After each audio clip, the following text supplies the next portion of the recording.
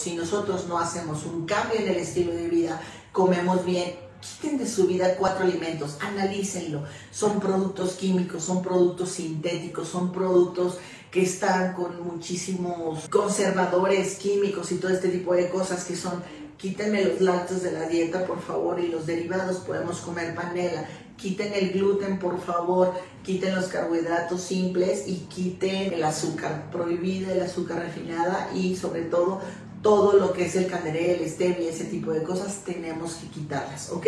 Entonces, manteniendo una buena salud, lo que comes, manteniendo el intestino, ojo, si todas las pacientes se asocia muchísimo, todas aquellas pacientes que tienen distensión abdominal o estreñimiento crónico, muchísimas veces son el típico paciente que tiene cándida recurrente. Entonces, si no modificamos nuestra dieta, hacemos ejercicio y tratamos de enfocarnos mucho en la salud intestinal, el problema de la candidiasis va a ser total y completamente recurrente.